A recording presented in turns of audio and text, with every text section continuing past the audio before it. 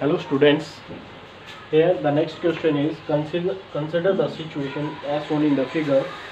The wall is smooth. This wall is smooth and the blocks A and B are rough. ठीक है The friction on B due to A is in equilibrium.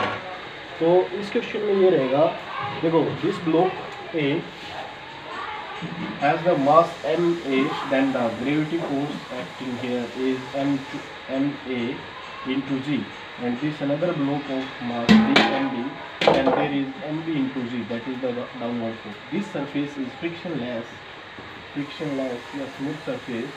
So due to this the whole system moving downward with the gravity G so the system cannot be remain in equilibrium. The system cannot remain in equilibrium is the correct option.